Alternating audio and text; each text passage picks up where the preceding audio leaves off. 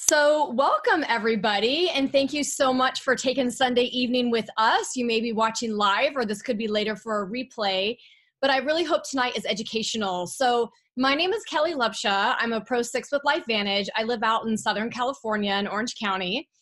And my husband and I have our own private practice as physical therapists, and we have specialized over the past 20 years in the recovery of neurological disorders, but specifically stroke, traumatic brain injury, and concussion.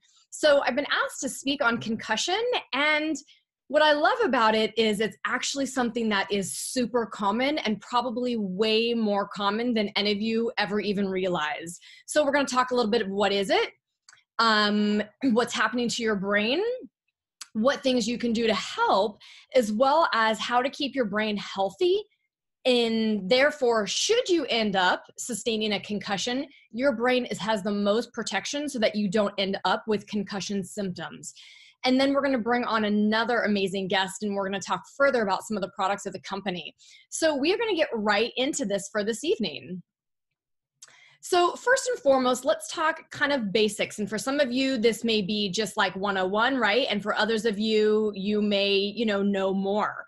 So I want to give you an overall like what is a concussion? Concussion is a type of traumatic brain injury, or you'll hear people say a TBI, that's caused by a bump or a blow or a jolt to your head or a hit to the body that causes your head and your brain to move rapidly back and forth. So people think of concussion, i.e., like sports injuries. And of course, the big movie Concussion came out, which really highlighted sports injuries and concussion, specifically football. But what I really want everybody to understand is this can happen from anybody in a fall, a car accident, from a roller coaster, or any other activity where your brain is jarred. So you may be getting up and hitting your head on a cupboard or getting out of a car. So, to be honest with you, we have four children, and two of our four children have sustained concussions completely unsports related. So, really, it's very, very common of course, if you do participate in sports such as football, lacrosse, soccer, hockey, I mean, any sport, right? Could be volleyball, anything where your head may hit or your body is jarred enough that your poor brain is going, you know, back and forth because it's really the brain that's being injured. And then, of course, you know, concussions are usually not life threatening, but they can cause very serious, you know, symptoms that may need medical attention, but they often go overlooked. So just take a look at this a little bit, you guys. Looking at a head and hitting, again, it could be your brain going back and forth, right? Our brain lives inside this hard skull of ours. And so if your head shakes hard enough, that brain in there is rattling back and forth, causing shearing forces. And those shearing forces may lead to these concussion symptoms. So again, don't just think athletes. If you look at the percentages, this is the people that are ending up and how they get their concussions. 28% are through falls. I mean, that's pretty significant. And another 20% in motor vehicle accidents, another almost 20% struck by or against an object of some sort, 11% assault, and then of course you look at other, you know, mechanisms for those last handful. So, sports injuries are not what everybody thinks as of just concussion. It can really happen to any of us at any time. So, if you have hit your head before, you may think, like, oh, I'm just a little like stunned or dazed, right? But what symptoms should you truly look for if you think, hmm, really, maybe I, I ended up with a concussion after all? Well, things like brain fog, headaches, dizziness, fatigue, those are very, very common light and sound sensitivity. So anything, you know, vision or hearing, having difficulties doing a task that's normally easy for you. It could be that you feel scattered or forgetful, maybe more moody or irritable, or you could have difficulty sleeping. Now, these are just a few of some of the common symptoms that you'll see, and we'll talk a little further about more extensive. But these symptoms can be scary, they can be frustrating as you don't feel like yourself anymore, physically, mentally, and emotionally. And again, we'll go into that if you've had a concussion, then you might be saying, feeling misguided. Yes, that was me, absolutely feeling misguided. Because on the surface, you look fine, right? So people don't understand that, like, you're injured. What do you mean you're injured? You look normal, you're walking around, you're talking. Yes, but the brain is injured. So you also might start feeling like, well, why isn't it healing? Why do I still have headaches? Why am I still having, you know, sensitivity to sound? Will it heal? Can it heal? Are there things that I can do or should I accept this as my fate? Well, to make matters worse, many medical practitioners, now a good handful of us today know different, but the majority of the people still get very generic advice you might get some medications to help calm the symptoms, but they're really not treating root cause. Or they might say something like, just go get some rest and limit your activity, and then you'll be fine. And that kind of what was old school is we thought just rest and you'll be fine. And if you go and ask the doctor for more testing, like a standard CT or MRI, they're not going to pick up on your neural damage. Now, today, there are new tests out there that can show more damage than others, but you have to be getting specific tests. And a lot of doctors aren't going to offer those to you, especially in the beginning. So if you feel stuck, you're plagued with anxiety, or you're annoyed because of lack of answers, you're sad that you don't have like energy or focus to be present with your family, you're not alone. And so I'm going to share a little bit more about these are post concussion syndrome. These symptoms may go on for days, weeks, months, and beyond. So it's going to be critical to take an extensive, well-rounded approach in healing, you know, truly your brain. And if any of you have had a concussion or you just want a reference for a concussion, there's a book called Brain Save, and it's by a neurologist, Dr. Titus Chu.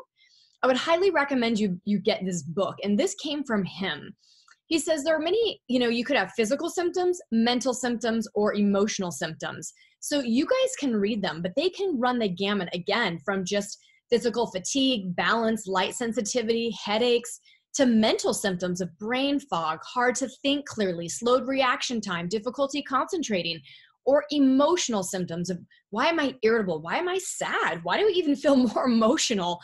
Or maybe you never had anxiety depression before but you have them now. So don't be afraid to think like what's wrong with me? No these are real in post concussion symptoms in the syndrome and what can go on from there you know can actually predetermine you for things down the road like early alzheimer's and dementia things like that. So it is really serious that you take this information for those that need it because truly you can heal the brain so, what's going on inside my head, right, with concussion? So, again, it starts with a blow to the head. You have a concussion, which is known as a mild traumatic brain injury. It is the most common form of TBI.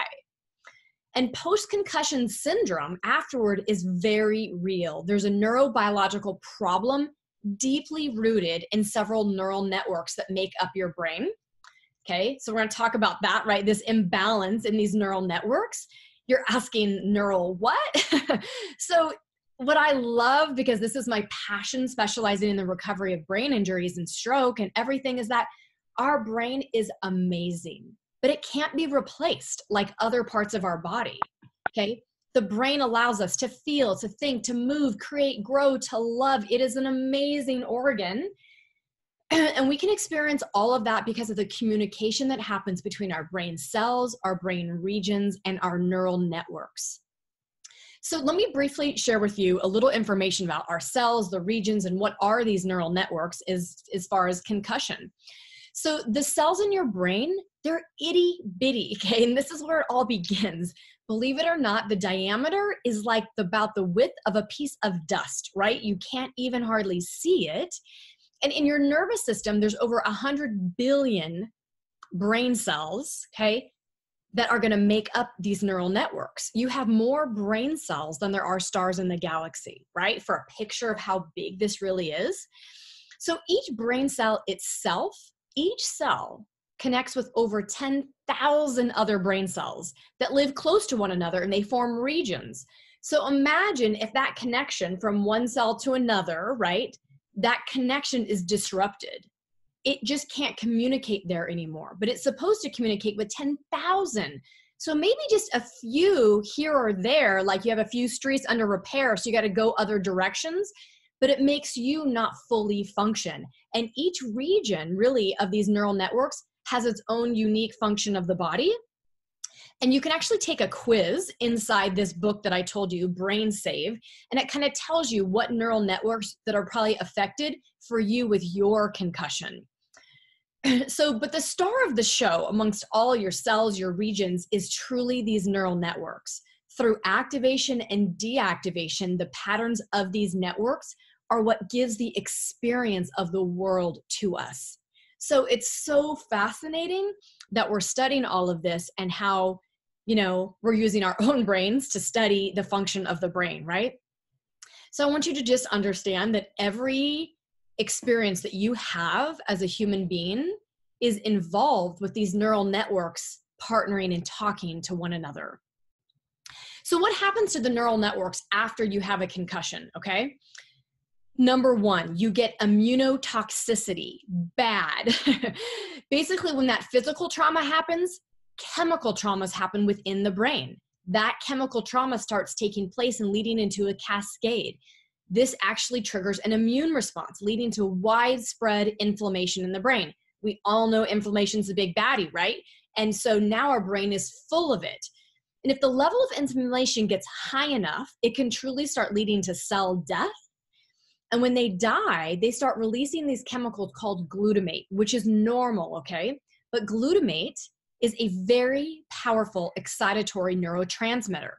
And when too much of it is released in the brain and the cells gobble it up, they actually become overstimulated and they die. So the last thing any of us want is cell death. But unfortunately, if that inflammation is not addressed, that's exactly what starts happening. So, this process overall is called excitotoxicity, and it's a deadly chain reaction of inflammation and toxicity triggered after the concussion. So, is it important to control that? Absolutely. So, let me give you 12 biggest obstacles to healing that I hear all the time and I can read about all the time. Number one, unchecked brain inflammation. Most people do not understand how to eliminate inflammation in the brain unmanaged mental and emotional stresses that we all have. The world is so vast, it's so distracted already. Now, having a brain injury, living in this crazy busy world makes it even worse. Uh, digestive imbalances, it is critical, especially in the first you know couple months after a concussion to truly eliminate gluten and dairy very very um, high percentage of people end up with digestive issues uh, blood sugar imbalances, your mitochondria becomes very sensitive and also can die off. So, improving your mitochondrial health. You might end up with food sensitivities you never had before, hormone imbalances, joint and muscular imbalances, toxins left over in your body, uh, single nucleoside polymorphisms, untreated autoimmune diseases, and hidden infections. These are all obstacles which some people never even think about when they're saying, oh, I just sustained a concussion. It can be very widespread. So it's complicated, right? It's very complicated, but we try to make this as simple as possible. So I want you to understand that if you look at that graph, you have pre injury factors, meaning have you previously had a concussion or a TBI? What is your physical, mental, and social factors before you hit your head? And actually, what is your sex before you hit your head? Then you have injury characteristics, right? Then you go on and you have all these factors and overlapping symptoms, and then ultimately what happens to your outcome. So, this is a journey through having a concussion to hopefully you're having a good outcome. But I want you guys to understand if you haven't had a concussion or you want to protect your brain optimally, pre injury is critical. So, how can we be proactive to help the health of our brain to decrease our risk factors of concussion symptoms. So, you heard it, you've heard it again and again is that reduce inflammation. And specifically in concussion, we are talking reduce brain inflammation. I am so proud that we have the most powerful way to decrease brain, inflammation, activating that NRF2 pathway using Protandim NRF2, turning on your own body's anti inflammatory genes, turning your own body's detoxification system on and cleaning up that trash, upregulating your own body's antioxidant system because it is critical to upregulate glutathione, the brain's master antioxidant, as well as, of course, the other benefits of catalase and superoxide dismutase that truly are going to give your brain the best chance of reducing that inflammation. But other ways you've got to reduce inflammation that I think people forget about or don't understand that they play such a role is the omega plus that we have. DHA is a fatty acid found in high concentration in the brain and in your brain membranes. And it allows for that neural communication of the neural networks that we were talking about.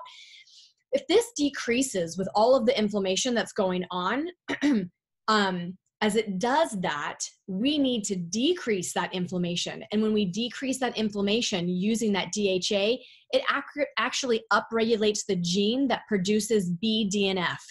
BDNF, you can also get it with exercise and running. I always say I'm going to keep that. It is it's a protein that is essential for neuroplasticity. So if you guys want to keep your brain healthy for life, you want that neuroplasticity, you want to upregulate that BDNF. So be sure you use that omega plus.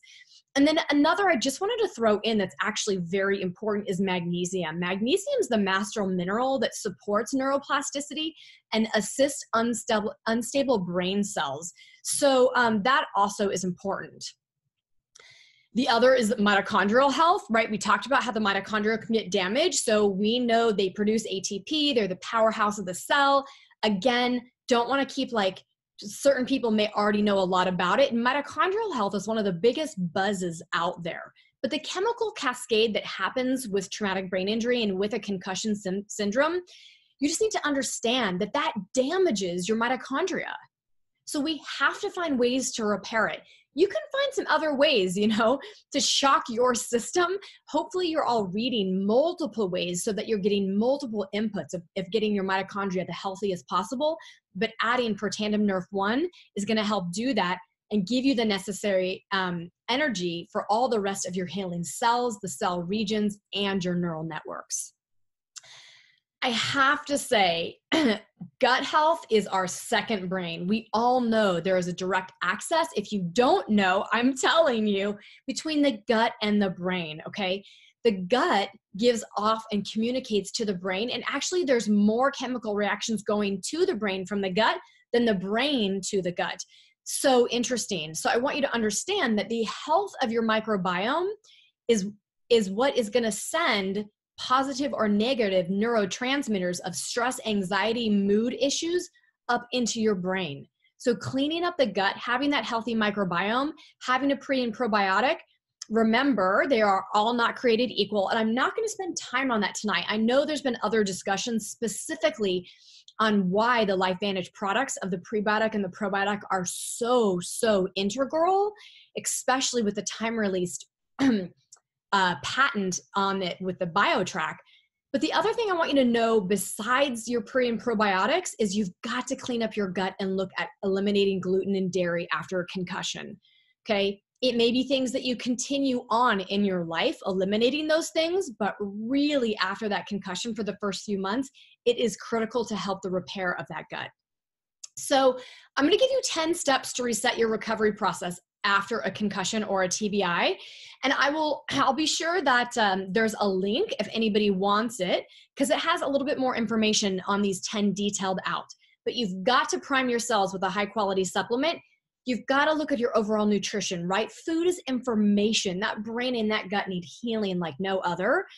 You need sleep and you need downtime. Um, you need to detox using an infrared sauna you need to be able to block out noise. So, having earplugs, block out junk light, having blue light blocking glasses, gentle exercise. You know, it's not just rest anymore. You need gentle exercise. You need to give yourself mini breaks throughout the day. And even practices of meditation can be very, very helpful in resetting yourself after concussion. So you guys need to keep your brain healthy because number one, let's just not have a concussion. But the chances are you may bump your head in your lifetime, right? So neuroprotection is key. Activating your body and brain, protect it with Protandim, Protandim with NRF2 and Axio for the brain. Maintain your mitochondrial health, maintain your cellular health, proper gut health, sleep, exercise, and hydrate you know, prevention is the key. So if we can stay one step ahead of the game, then I think we're on the right path. So, you guys, with that, I hope it gives you a better understanding of concussion, what it is, what's happening in your brain, how to start helping to heal and repair it, and how to keep your brain healthy. Therefore, when something might occur, that the symptoms that you are going to sustain may be minimal or not at all. That's what my hope would be for you.